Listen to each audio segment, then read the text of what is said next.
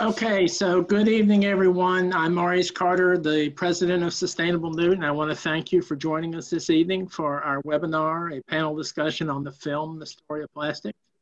I first want to welcome with thanks our panelists for this evening. We're joined by Covington City Council member Susie Keck, by Newton County Commissioner Nancy Schultz, who also serves on the County Solid Waste Authority, so multiple perspectives that are important to this topic tonight. We are joined by, uh, from Emory University and their Zero Waste Ambassadors Program, we're joined by Rachel Massetti and Candace Allison.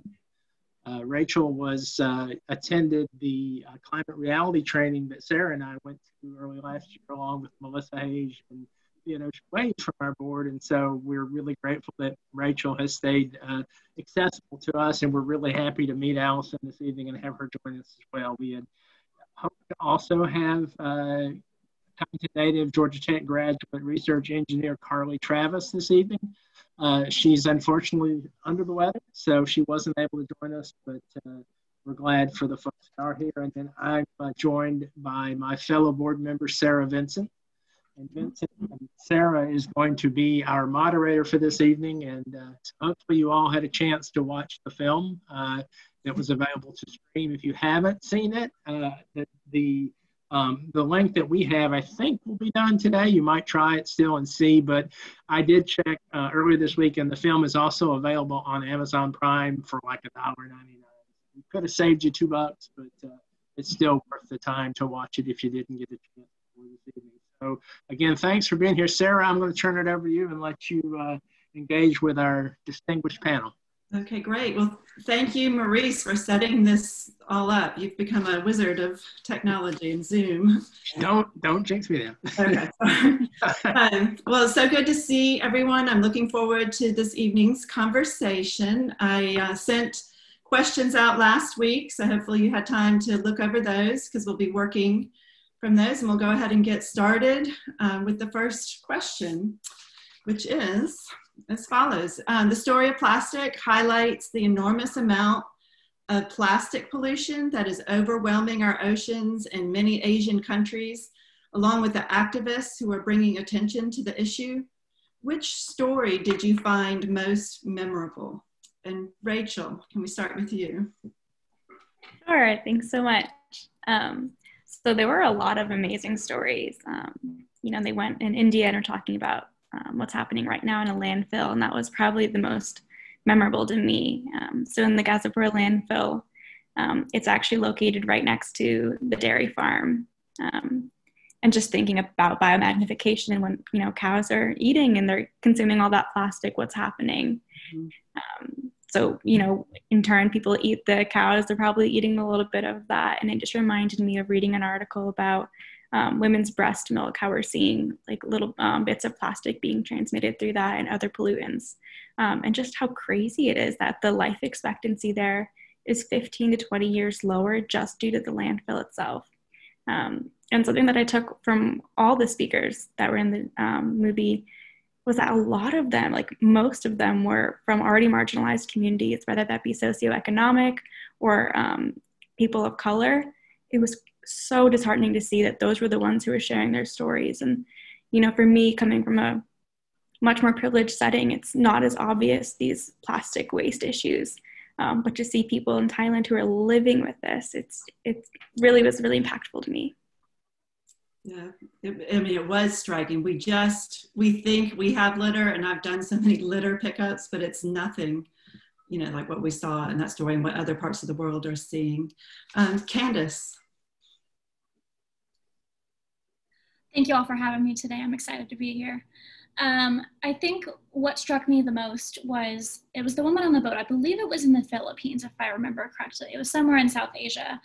Um, and she was talking about how um, the West tends to be like, oh well, you know, there's there's a plastic pollution problem, yes, but it doesn't have to do with the plastic itself. It's a it's a waste management issue, um, and that just simply is not true. Um, and I think you know, it, it was exemplified by um, the quote she said was, This waste wasn't designed to be managed. It wasn't meant to be managed. Um, it was meant to um, make our lives more convenient, more simple, and then ship it somewhere else and let somebody else deal with the problem. And so I think that moment is uh, exemplifies the issue of plastic waste in general is that it's something for our convenience it's something that we don't really think about but that um, as rachel mentioned already marginalized communities are then having to deal with our waste problem. Yeah it's very true. Uh, susie what was your and welcome amina i see you. Glad you could join us. We're on the first questions so okay the I think that all the stories really just were just shocking to me. I'll say that because I, you know, I, I haven't really been able to see what's going on in you know those areas.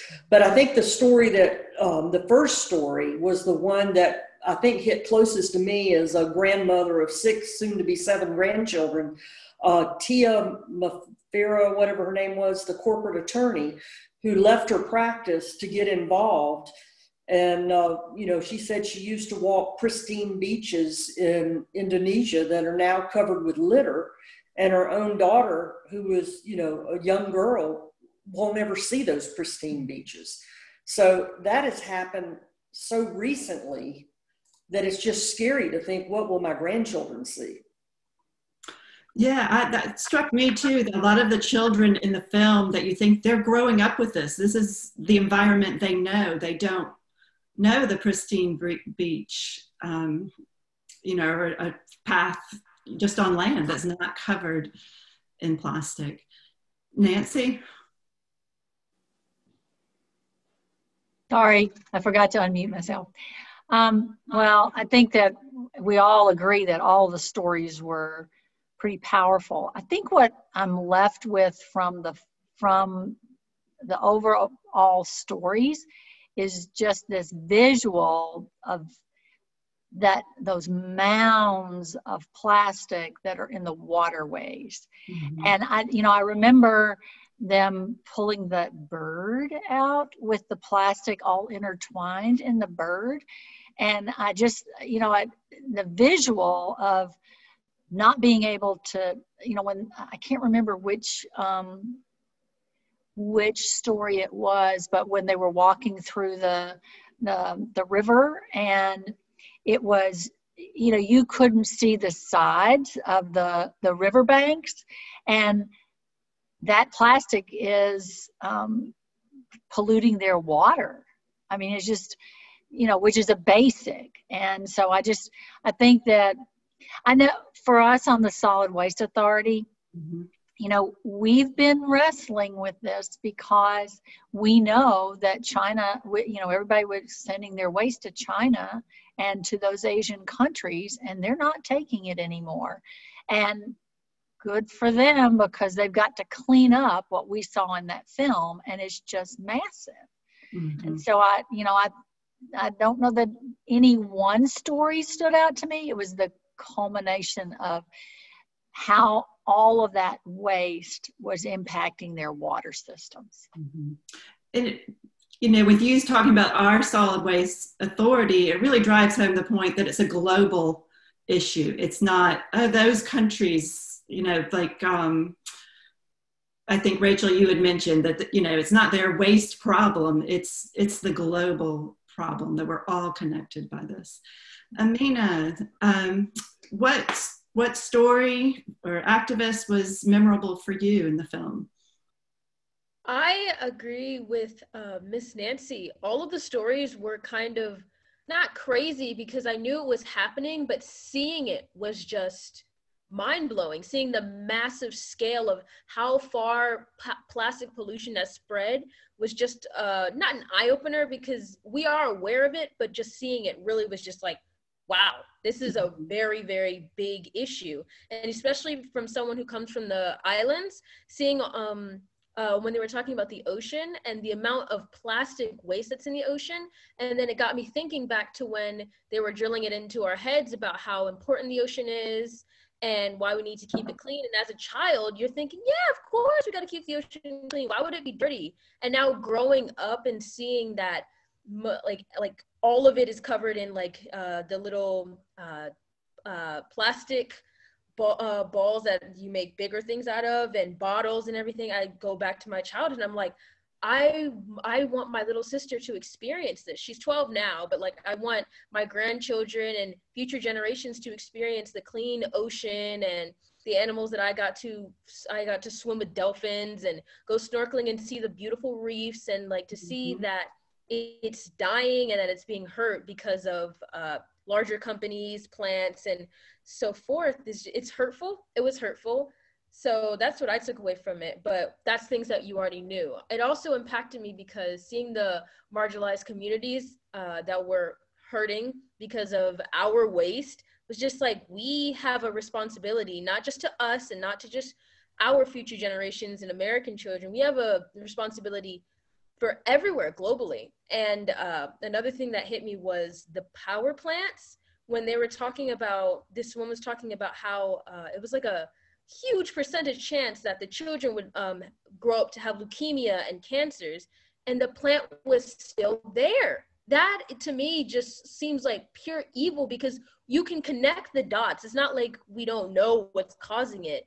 It's the plant, and these people live right next to it, and it's dangerous. If there's an explosion, that wipes out so many innocent lives, and it just mm-hmm. really puts it in perspective about how much big companies do not care about the people that are paying taxpayers' money to keep them there. So it was just, it was crazy for me to watch it, but very eye opening. Yeah, I think we can all agree it was eye opening, it was overwhelming. It's a big problem, it's a global problem. We're all connected. Um, so the next question is between the stories, the film presents a timeline and facts about our plastic history. What was new information for you? So we had that visual, you know, what we saw was new, but what were some of the facts that were presented that were new to you? And then what do you think people need to be most aware of? What facts? And we'll start with Susie. Um, I think the fact that impacted me was how recent all this waste has piled up. You know, the invention of plastic, I was in carpet sales for, you know, 40 years, and the carpet industry basically is much like the plastic industry, a, a terrible pollutant. And uh, they also you know, will tell you they're recycling, but in fact, they're not recycling more than 3% of what they produce. So the, the marketing, you know, is mythical. So mm-hmm. this, this kind of program, when you see where we started with Tupperware, it was like the greatest invention there was. But it wasn't that many years ago. And here we are today. And the facts are that Tupperware the best product on earth and Pampers today is our one of our worst problems on earth. And how are we going to solve it? Right. Yeah, they're products that we've become dependent on, you know, that um, that makes it more challenging. Yeah, and I think I think the question, you know, that that comes when you see this timeline is which which keeps hitting me is why are we using plastic? Mm-hmm we don't have an alternative right now. Right. I mean, we have some alternatives, but if we've done this much damage in 10 to 15 years, what's going to happen in the next 10 to 15 years? Yeah, I think it, one of the facts was that within the last, half of the plastic has been produced in the last 15 years. That's, right. that's scary. Yeah. You just think about how much more plastic people are using today than they they were you know even our detergent. Instead of coming in a, a bin today you get the refillable you know that you put in the bin or you throw the bin away. Oh yeah. Yeah. Candace.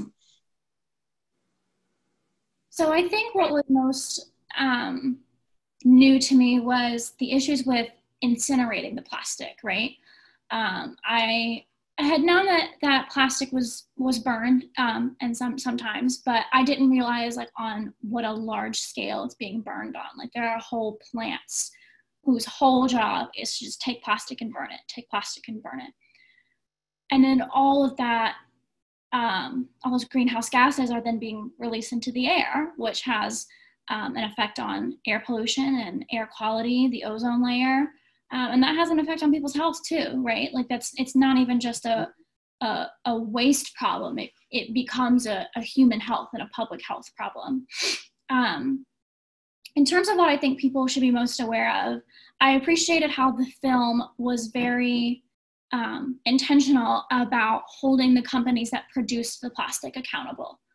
Um, you know, I, I in general think that, um, you know, recycling and, and being more eco-friendly has definitely been like an individual responsibility. That's how it's been um, taught, at least to me growing up. It was, you know, I was told like you need to make sure that you're recycling and that you're being good to the earth. And then it's kind of, um, you know, it's almost like a double standard that I have to be good to the earth and that the waste that I create, I'm responsible for, but the waste that these um, large companies create, they're not responsible for that. Uh, it's being pushed onto me. Um, so I think that was probably the the biggest takeaway for me, and that I think other people should take with them. And we've really carried that as consumers. We've carried that burden, and we're trying to use our reusable bags, and you know, and, and people make it hard too, right? Like if you're um, someone who is lower income or who lives in a rural area who doesn't necessarily have access to like a bulk shop or a shop that has um, you know things where you can refill things or shampoo bars or things that don't come in plastic it's really hard right? Because you go to the store and all your options for shampoo for example are all in plastic all of them. And so it's you know it's it's hard to to make better choices if you don't have the privilege to make those choices yeah, and if you live in an area, I think like Newton County, I don't, you know, if you live in Atlanta, a big city, you're going to have Athens, maybe even. Um, we just don't have those options. Amina, what were the the facts that really hit you about plastic and I cannot remember the exact place where it was said. I think it was in India, but when they were talking about how they used to go to large fresh markets and they would bring glass and reusable items that they could use to get their soy sauce, to get their vegetables, to carry back to their homes. And then with the introduction of American consumerism and Western plastic and all of that, it changed everything. And that blew me away because I was just like, these people were doing fine. Like, mm-hmm. we did not need to introduce this. And we did it because of financial gain. And that it just it shows you how much we don't not we as in in here, but collectively as a people, when we think about uh, how Americans are very large consumers, we think that oh yeah, this is how it should be. When our way of living life clearly is not the way that we should be living if we want to be environmentally uh, safe for our future generations. So that that fact that our Western ways and our Western ideals that oh yeah, plastic this, plastic that literally is destroying a very strong part of their culture, which is uh, eating fresh, like every day, grow, e- eating straight from what they've grown, and to going to grocery stores and markets and getting plastic and then the plastic ending up in their water and everywhere. So mm-hmm. the, that fact really blew me away. And to add on to what Candace said about how it's difficult to not use plastic, as a person who's just moved in and who's I I would like to like stop using it, it is so hard. Just today we had to go to the store and go get groceries and you know you want to get your fresh produce, but it's expensive. And when I'm thinking about it like as a person cuz I'm as blessed as I am now to have the things that I do have, back then when I was younger, we didn't have the money to get the fancy, you know, fresh produce, all this. We had to go for the plastic stuff because that is all that we could afford.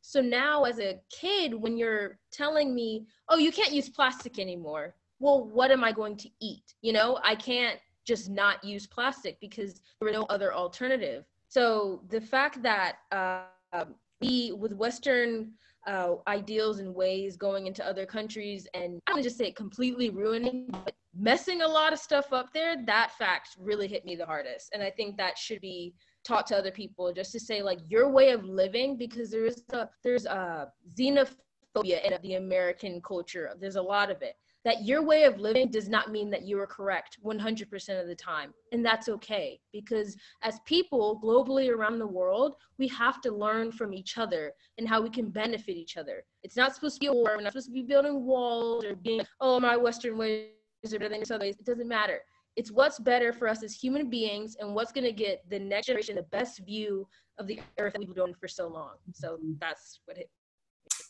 that's a good point yes. Seeing other perspectives. Rachel?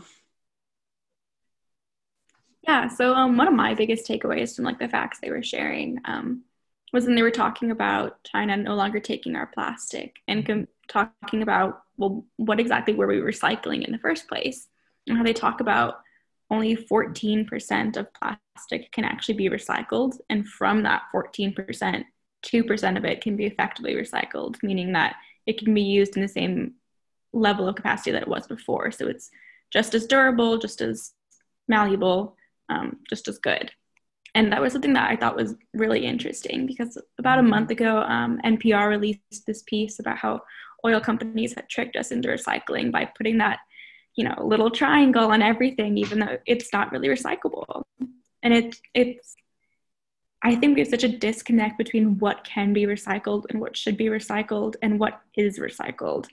You know i have all these memories as a child of every sunday my dad and i and my siblings we would go we would go to the recycling center we would drop everything off. And that was like something that i grew up with was just recycling and like looking back now and even as they were talking about like these brand audits in the video of like going through and seeing mm-hmm. what plastic you're using that's not actually being recycled. And it's just fascinating to me because you really can target you're really seeing that these are so few companies like nestle coca-cola p&g we're seeing that it's these same people over and over who are tricking us into thinking that yeah you're recycling you're doing great you can buy it again because we're taking care of it. And it's not. And it's I thought it was so fascinating that it's not even, even though they're the ones putting the stamp on it saying it is recyclable, it's not them recycling it, which makes sense, but it's something that I never thought of before. That like all these companies, these packaging companies, in order to avoid criticism, were the ones who were saying, hey, taxpayers, you have to fund your own recycling systems, um, which I don't know, putting that connection together just blew my mind. And I was like, they really have us so tricked. Like we're so fooled by them. Um, so I just think like the public needs to be more aware of, you know, saying what's recyclable versus what is recycled. And I think that's what needs to be um, told more often. It's a real challenge. I don't know if this was in the film or if if I read it, but I think it's become so expensive. Like 80, it costs 80% more. Was that in the film? To make something out of recycled material than it does to make something new. So it, you know, who is going to be making some using, who is going to be recycling and using those materials? I don't know. Nancy. So, you know, we've been wrestling with this on the Solid Waste Authority for a long time, and um, that triangle and the whole um, the marketing is from our um, uh, clean and beautiful is to reduce reuse and recycle. So there are three components.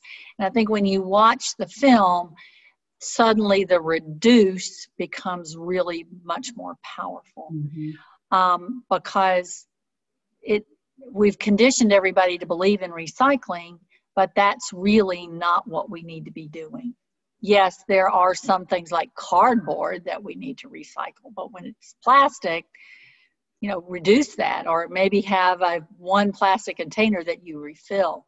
Mm-hmm. And I mm-hmm. think this film really illustrated that, uh, drove home that point. But the one thing that I have to say that I learned, um, and it was kind of, it was not real, um, it, it was kind of a, a nugget, I guess I had watched the debate the night before I watched this film. And so they were all talking about fracking and the Green New Deal. And frankly, I'm going to be honest. I, you know, I know the term fracking, but I really didn't understand the mm-hmm. connection of fracking to plastics. Yeah.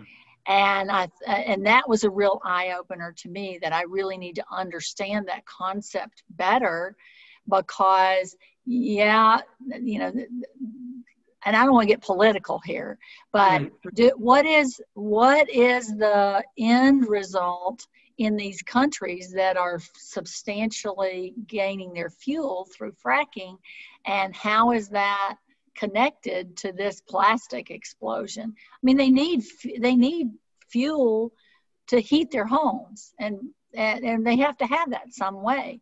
So you know it's a vicious cycle but that was the con- that was a connection i had never made before. Right. Well and it seemed like so much of the fracking that they there was going to be a reduction or there is going to be a reduction in demand for that with renewables coming on and so they need another system to feed into and so it's the plastic so it's exporting the natural yeah. gas. Yeah and, it's a vicious cycle. Yeah yeah because they're they want to produce it. That's something they can produce. That's good. Okay well so now we'll move on to kind of more your um, your personal experiences and because you all have such interesting connections to plastic. Um, what aspects of the story of plastics from production to waste have you encountered and addressed through your various roles as consumers students business people and government officials and Amina, we'll let you go first. So I will go out and say I'm one of the people that do use plastic normally and on a daily basis, and it's very difficult to not use plastic. And in Bermuda, it was different. Like when you go to Bermuda and you see like you ask for a plastic plate, they're gonna like, I mean, yeah, but why don't you use a regular one? It was just, it's like weird. Why are you asking me for a plastic plate? And it's about laziness and it's about how they were raised. And when you're in Bermuda, the you live off the land. Everything that you have, yes, it's some of it's exported or imported in, but most of it is from your local farms. So there's not going to be any plastic pollution. If you litter, you will be fined. Like they do not play about that. When I moved to Bermuda, mean to America, the entire mindset about the earth change. I just saw people throwing Coca-Cola bottles everywhere, children be in the hallway just throwing. Mm-mm. I might have lost her for a moment there. Okay, it's not just me that, yeah, okay. Okay, well, um, well, don't care. You're not going to want to change it you're not going to want to change it. It all starts in here and with the children and with the adults that have power. Because you're you're telling me, "Oh, you have to save the earth." Well, I don't care about it. I mean, it's not my problem, right? Make it their problem. And the only way to make it other people's problems that won't listen to you is to go for what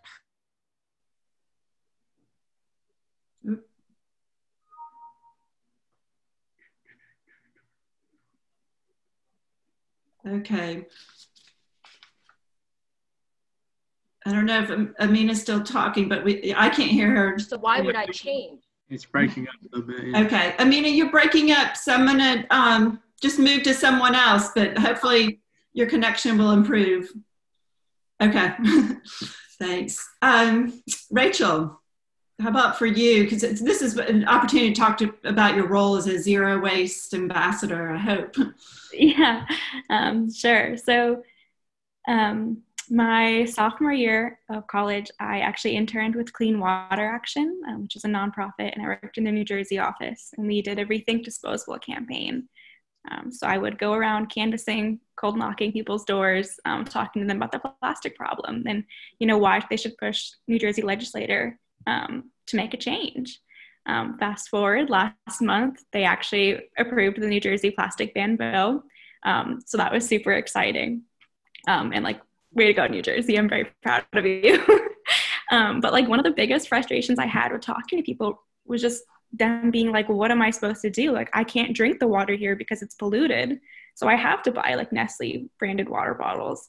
And they weren't seeing that connection between the companies who are the ones polluting the water and the ones who are giving them that problem solving solution. Um, so that was something that I found so frustrating. Um, and I know Mina kind of touched on it as well that people were like, well, why should I have to change my lifestyle if there's no reason, like or no incentive for me to do it? And it was just kind of encouraging people that to understand that it's not mutually exclusive to understand that larger corporations are responsible for the crisis, but also wanting to make changes in your own life. Um, so that's something that I really want to stress. Um, and you know, fast forward a little bit. As a junior at Emory, um, I got the opportunity to serve as a waste intern with OSI or the Office Sustainability Initiatives, um, where I'm the current waste ambassador, zero waste ambassador head for the second year now. Um, and Candace is one of our amazing zero waste ambassadors here with us. Um, and what we do is we really try and push for Emory sustainability goals. So we have a zero uh, landfill waste goal for 2025, which means we're going to try and divert 95% of our waste away from landfills, whether that be composting or recycling. Um, but something that we do for outreach is we're really trying to focus on, um, like Miss Nancy said, that reduce and that reuse. We don't want to have to recycle because, like we saw in this video, it's not practical. We're not going to recycle our way out of this crisis. Um, something that we heavily believe in is just honest education to people. So we do a lot of outreach, um, whether that's with older citizens who are trying to understand what to do with their plastic now because it's changing so rapidly. This is nothing that they grew up with, um, but also talking to younger people about you know why this problem exists and what they can do about it and practicing at home activism to try and get corporations to care about it um, so we're really lucky to have this kind of group at emory um, but that doesn't mean we don't have frustrations on campus as well you know, especially as we're seeing with the coronavirus pandemic, there are so mm-hmm. many reusables right now, or um, sorry, disposables right now. Um, we really have to push for those reusables. Um, so I think that this video was amazing because it touched on so many different aspects of issues that we're seeing with plastic solution, whether that be on the front end of, you know, with fracking and how water is being polluted, or, you know, at the final stage when we're just seeing like actual Coke bottles float down the river. Um, so those are all things that I've seen. Um, but I do think we have people who are making, you know, great progress. Like we saw in New Jersey, that grassroots effort um, was something that was so successful. It took about a year, but we got there.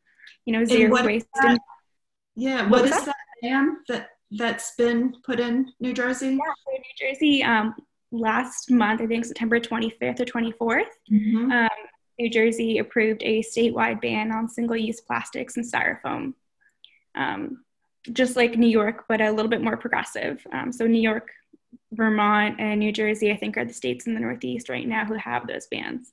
Um, wow. People watching, I'm from the Northeast, not from Georgia.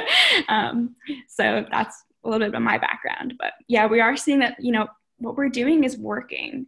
It's not working as quickly as we want it to be. But I think it's important people understand that, yes, it's businesses are the issues, but individuals can be the solution, especially when we band together. That's great to hear. And Candace, do you want to chime in since you're a fellow ambassador? Of course, I'd love to. Um, I think Rachel made a really great point about, you know, even though we were not the ones who created this problem, we can be the solution. Um, and the reality of it is, too, I don't think big business is going to care about the plastic problem until they start losing money and until people stop refusing to buy their products. Um, so some of the things I've done in my life um, to reduce uh, my plastic consumption. Well, first I want to say is that it is overwhelming. When I first decided, I was like, okay, I'm gonna go low waste. I'm gonna like get rid of the plastic in my life. It. I looked around and I was like, everything I own is in plastic. My toothbrush is plastic. Uh, my toothpaste is plastic. Uh, my shampoo, all my stuff in my kitchen, like ev- everything is plastic. So what I did was I did things one thing at a time. Um, and that's really, I think, the best way to do it. So I started off like getting a reusable water bottle, and that was my goal. Was like, okay, one month, I'm gonna get this. And then next, you know, you get um, you know, a reusable shopping bag to go to the store with, and you get reusable produce bags. And there's just things that you can do to slowly reduce your waste. Um, also being a, Z, a ZWA has been um, a really great way for me to um, do my part for this plastic problem. So, um, you know, and it's 100% free. Like I get to you know, it doesn't cost me anything, and I get to hang out with um, awesome people like you guys and do awesome panels like this. And um, also, consuming less is the the best way to go about it. Like Miss Nancy said, like reduce is the first thing that you should do. um, so stop, you know, it, and it's hard too. I think in Western culture is very consumer. It's always like I'm going to get the next iPhone. I'm going to get the next, you know, uh, whatever's in style for this fall that wasn't in style last fall that I have to have for some reason. Um, consuming less, I think, is a really um, powerful way to to go about it. Um, and then there's also things that are free, like voting. I'm going to do a little plug for the election here. Um, vote mm-hmm. because you are going to vote people in who either care about the plastic problem or who don't care about the plastic problem. And your vote directly tells, even if your candidate doesn't win, it tells the candidate that did win, like, wow, a lot of people voted for this candidate, or a lot of people emailed me talking about um, how they're concerned about plastic pollution. And that is how we can make real systemic change is by voting in individuals who care about the environment and who care about reducing um, you know the plastic waste that that we produce. Thank you. Nancy. Well i've been making a list here so i can make sure i cover all the bases. So um, I think you all know that I uh, own, my husband and I own and manage the Oaks Golf Course. And I guess it was three, three or four years ago, we made a decision that we were going to change our um, uh, our plastics to compostables. So we don't have any styrofoam. We changed everything to compostables. But then along comes COVID, and we were using, um, you know, we we had dishes and silverware, and now we have to backtrack and have disposable silverware because they don't the our our providers don't provide compostable forks and spoons.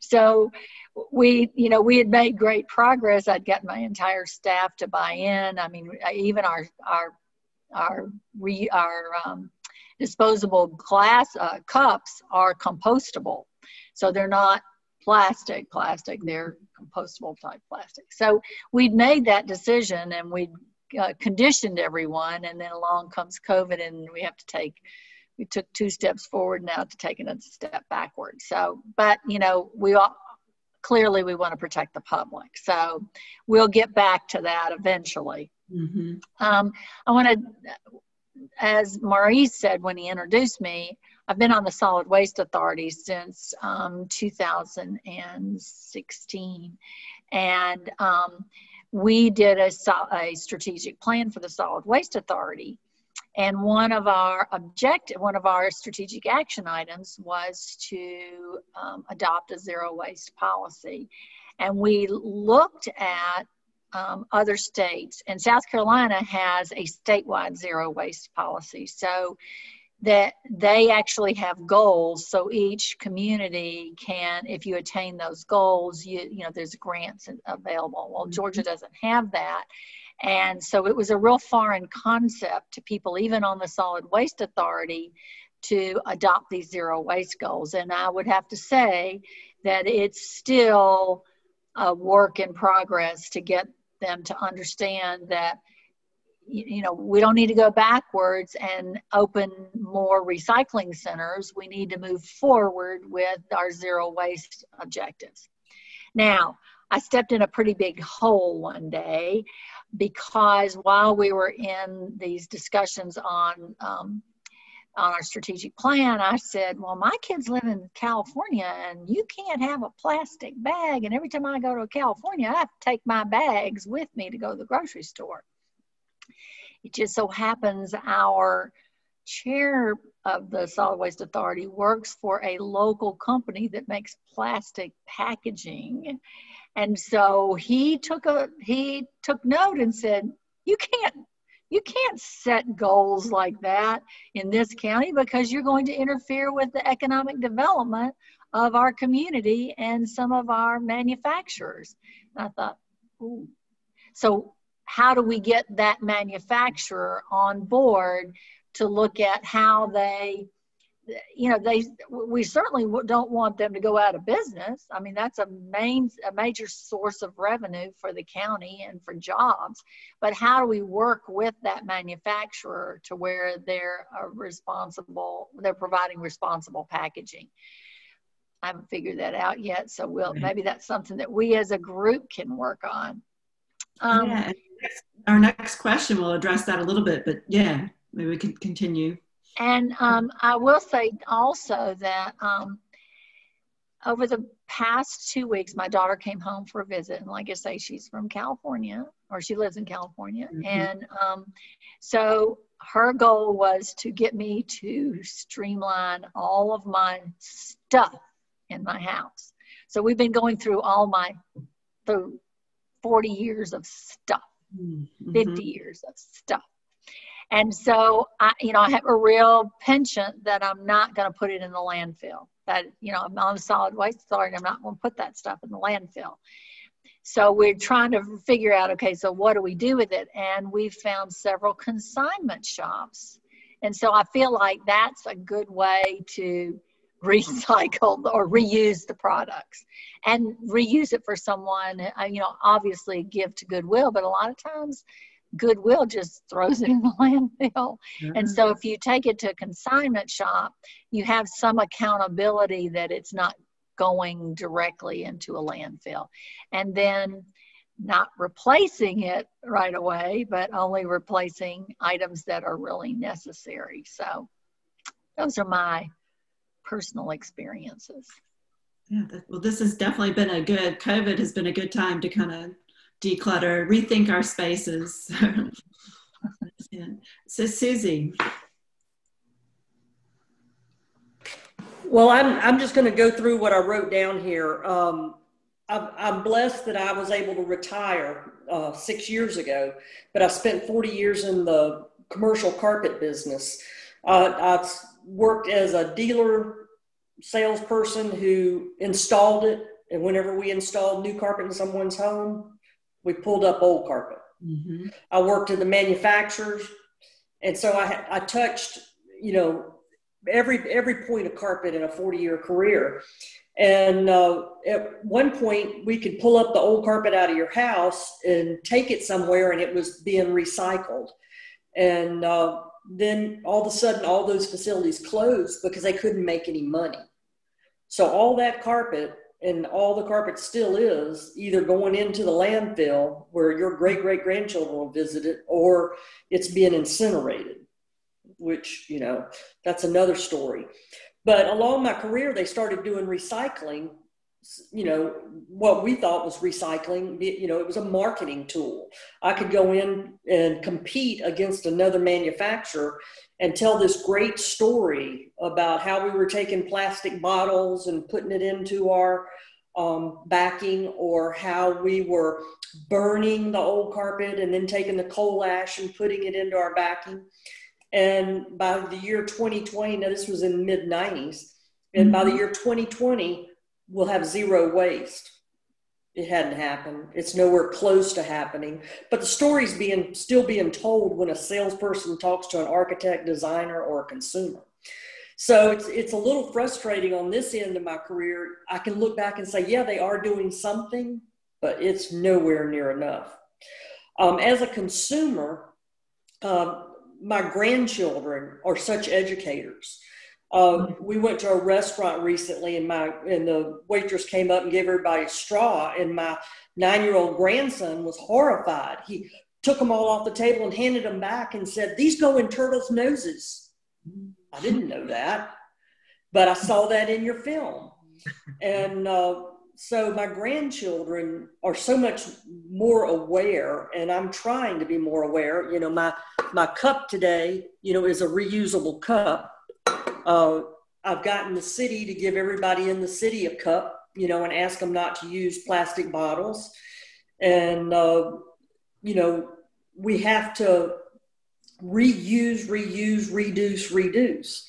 And I think that that word has just got to get out there. Um, and it's easy to get it out to school children, and hopefully the school children will tell their parents, and it, and it goes on and on. And that, that'll help but uh, it's not big enough. Now, on a government level, working, you know, for a municipality, um, what can I do? Um, I'm, I'm involved in some exciting opportunities that we're looking at it ways to reduce waste and uh, you know we're we're actually going on a field trip to look at something someone else is doing and they know that's a passion i have so you know i'm trying to always bring it to the forefront when we're talking about things. You know on the sanitation level the town got so mad when we outsourced sanitation. And uh, you know it started a few years ago when we quit recycling glass. They were furious. Mm-hmm. you know i'm paying my taxes. You need to recycle glass well, there's nobody that wants the glass. and when you had the opportunity to tell somebody one on one, they understood it. But you know, everybody just want to bad mouth, you know, wants to bad mouth the government. We're taking their money and not doing anything with it. So I have to look at ways to reduce those things from a government standpoint and better ways to do something with those things from a government standpoint. And education in this film alone, I mean, I don't know how we get it out to everybody but you know it needs to go out to everybody. Am i able to share the link? You know you can actually go to um, sto- the story of plastic and you can sign up for your own screening and then they would send you a link that you'll be able to share. So you this can go on. They want to get the word out. So like marie oh. said the film is on a, now on netflix but you can do a group screening and it's free. Yeah, so, that, that, um, that's awesome to know. I, I mean, I would love to, to do something like that. And then on a, you know, what can I else can I do? Um, Nancy and I've discussed this before, and I've and we have the same issue. I'd like to ban plastic bags. Mm-hmm. To me, that is so simple. I, I would like to ban uh, use of uh, plastics and styrofoam in the restaurants. Uh, you know, I think that as a city that we can write an ordinance and say, but the COVID's an exception. But what what you were doing at the Oaks, there's no reason everybody can't do that. And sure, it's not going to make the you know, it's not going to save India, but it might save an island. And there's just things everybody's got to think about. What little things that add up and add up. It's like a snowball. You know, what can we what can we do that'll add up? And reuse and reduce is our best start. Mm-hmm. And I know if the, our fellow Sustainable Newton board member was here, Theodosia, Theodosia Wade was here, she would be saying refuse, that, that that's the new word, mm-hmm. refuse. Oh, refuse, yeah. Reuse and recycle. So. Yeah, well, you know, don't, don't, don't get the plastic utensils. You know, when you get takeout food, Right. Don't accept those plastic utensils. I mean, I do that already, and I don't like to eat off a plastic utensil, and that was before I was concerned about plastic. But uh, you know, there's there's things individuals can do that will add up, but ultimately, somehow we've got to hold the big Coca-Cola, Dow Chemicals. It's got to start there, just like Europe. You know, we we need to say no you can't do it. Figure it out. Yeah, and this leads us to the, the next question, which we've really touched on. Um, you know, the film makes clear that we can't recycle our way out of the plastic waste problem. And how do you envision a future without single use plastics? What policies and systems are needed to help us get there? And so we've touched on that, but maybe we can dive a little, little deeper. Um, Susie, do you want to, you would talking about Europe and some of the things there. Right. I've, I've been lucky to do a lot of traveling in Europe. And uh, it's just second nature there. And, and at Emory, it's becoming second nature because if it's not available, you don't use it. So the refuse, I love that. You know, I'm gonna add that to my reuse. You know, I love love refuse, and you know, we've got to refuse to buy it because the only thing that is going to affect these companies is the pocket. And you know, young young designers that are selecting materials, they're paying attention. What will happen? What is the life cycle of this product? And what will happen at the end of its life? And then if you don't have a good answer, they're going to choose another product. So why can't we do that as everyday consumers? What's going to happen to this product at the end of its life? What is its life cycle? And uh, what can we do? I think the way Europe taxes them mm-hmm. so that they have money to do something with the waste at the end of its life is, is what we have to do. I, I agree. Um, Candace? I mean, I think Miss Susan hit the nail right on the head. Um, you know, in places where there is like for example a plastic bag tax it's an extra five cents or what, have you on your grocery bill. When you go and use a plastic bag i mean that incentivizes people to not use them. Um, these companies care about making money. They don't care about you and they don't care about the environment. They care about putting money in their pocket. And the only way to get through to them is to say until you take action and take responsibility for the waste that you create, I am not going to buy your products. I mean, that's, that's, you know, that's it. One thing that I think stood out for me in the film about, you know, when we're talking about like systemic um, problems is that recycling is possible because of poverty. Poverty is the reason that recycling exists because we send our waste to people who are impoverished, to people who are um, people of color, to people who live in middle and low income nations. That's the reason we can recycle is because you know we can just throw it either in the landfill or we can throw it in the recycling bin and let somebody else deal with the ramifications of our actions. Um, so I think we need radical legislation banning single-use plastic. I think in an ideal world, I would say no, no single-use plastic of any kind. Um, of course, you know, there are people who, for example, may need straws for medical reasons, which is, you know, totally fine, but banning single-use plastic. For example, um, Greenpeace is working on um, a campaign right now to get uh, Coca-Cola to stop producing single-use plastic. Coke used to come in glass bottles, um, hasn't in my lifetime, but it used to. so, um, you know, we already have things that worked, right? But Coke and glass was perfectly fine. And you know, there's no reason that we can't do that now. But Coke is like, oh well, people people want their, their Coke in plastic. So what Greenpeace is doing is they're saying, here's a petition of all the people who absolutely do not want their Coke in plastic. So, you know, grassroots organizing can be really effective as well. And I think another way to, to, to kind of tackle this problem is to invest in aluminum and glass as packaging. Mm-hmm. Aluminum is actually one of the few materials, I believe it's the only material actually, that it's cheaper to recycle aluminum than it is to create new aluminum. Mm. So that makes it very um, lucrative to companies that use aluminum because they can actually save money by using recycled aluminum. Glass is also a really great option. It's a bit more expensive, but glass can be infinitely recycled. We don't have to worry about effectively recycling glass, like how plastic can only really be downcycled. That's mm-hmm. not the case with glass. Glass can keep being recycled and recycled and recycled until, you know, the end of time. um, so that is something that I think is really important.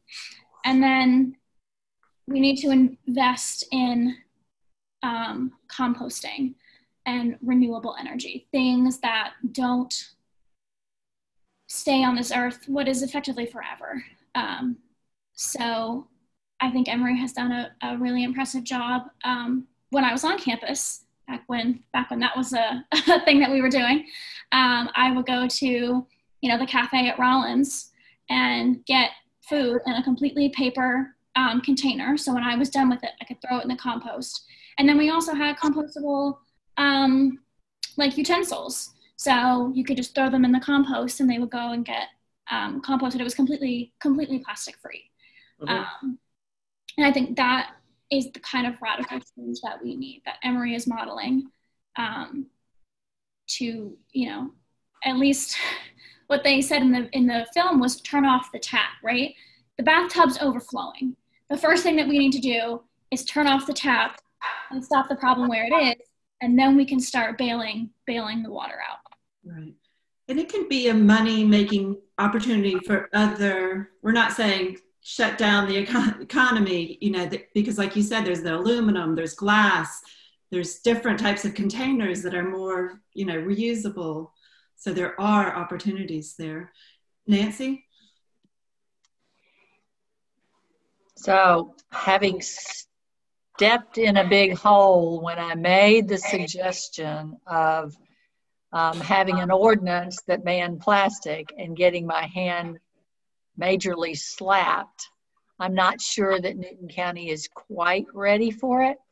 I also know that my election took a very, there was a very sizable number of people that took um, issue with my views on um, reducing and reusing instead of recycling. So I think that we have to be very, there's, to get ordinances in place, there has to be political will. And as Susie knows, you have to have a majority of people that are willing to do that. Mm-hmm. So I think that to get to that point, you have to plant several seeds and continue to water them. Now, in that process, I think that there are ways that we can plant those seeds. For example, when we have community events, everybody gives away water bottles. Right. You know, there's a lot of yesterday at standing in line for um, voting, a lot of people were trying to give uh, disposable water bottles out. So, you know, maybe you, you try some uh, working with some of these events where there is some kind of incentive to um, some educational piece at those so that you're gradually changing the understanding. I know I, I Maurice knows this, but I do a golf and science camp, and part of that golf and science camp is a whole section. I mean, we start, we give the kids um, a reusable water bottle all week. Do you know how the difficulty is to get the parents not to send a disposable bottle of water. I mean, we even have a, a cooler where they fill it up every day. We give it to them, it's theirs. We re- reinforce it. We talk about um, reducing, reducing, reducing, and reusing. We do all kinds of projects. But parents undermine that when they go home because it's not easy to keep it up at home. It's just, you know, we're a quick um, society that wants a quick fix. And so we've got to do some things. I, I just, I, I, wish I had a, um, I wish I could snap my fingers and say it's not this way, but it, unfortunately, that's been my experience. So, you know, maybe when we have events, perhaps if we can start there with, I mean, I know that Clean and Beautiful or Keep Newton Beautiful now gives reusable bags out. And, and every time we give something, we don't give it in a plastic bag, we give it in one of the reusable bags. So that's a start. Um, as I said, my kids live in California. Every one of them carries a little kit that has a, a metal straw, a metal um, set of utensils and they carry that on the planes with them. They bring it here. They never use disposable plastic, they just keep it in their backpacks. Mm-hmm. So, you know, maybe that's something that we could look at from the county or from the city that um, we brand and give those away as uh, as some of our branding pieces. Mm-hmm. Um, so that, you know, th- those are some ideas. I know that trying to get ordinances, Susie and I agree, but we're not on the same, yeah. we're not in the same uh, mm-hmm. governing body. So we got to find two other people that agree with us to get this done. And that's a tough, that is an uphill climb. Mm-hmm. So, however, we make those small steps, and have a, a grassroots effort to have uh, a sea change from the ground up, I think that's what we have to do. And I think on that political point, sometimes, you know, we, we focus our energy on getting the person elected that believes like we believe. And when that doesn't happen, it doesn't end there. I think part of what we have to do is say, I need to work on my friends who supported that person and get them to change their thinking. So they'll send the message says to keep supporting that person, they're going to demand something different. So I think you've got to remember that politics is also influencing the people, our fellow voters, not just influencing the candidates. So. Yeah. Well, um, I I didn't interrupt, but it probably is about time to interrupt. Did we give everybody a shot? Because we like to keep these roughly around an hour. And uh, got a couple young ladies here who may have some studying to do tonight. I don't know, but we're really appreciative that you joined us. Uh, Nancy and Susie, we're appreciative that you joined us and also for your service, for the, the things that you have done to further the kind of causes that we talked about tonight. So we got a great, uh, I think, generational discussion here tonight that, you know, is leaves me hopeful because of the kind of leaders that we elect and the kind of young people coming along to step into your shoes someday. So, Sarah, thank you so much for uh, facilitating a great discussion. Thank you to everybody who joined us in the, uh, in the Zoom meeting and on Facebook Live. Uh, we've been doing, uh, we're trying to do these things fairly regularly. It's hard for us to get together in person. We actually don't have the next event on the calendar at the moment, but we will have more. Uh, and uh, so stay tuned. Follow our Sustainable Newton uh, calendar on our, our website, social media page. So um, again, thanks everybody for the wonderful discussion, and uh, we'll we'll sign off for this evening. Thank you. Oh,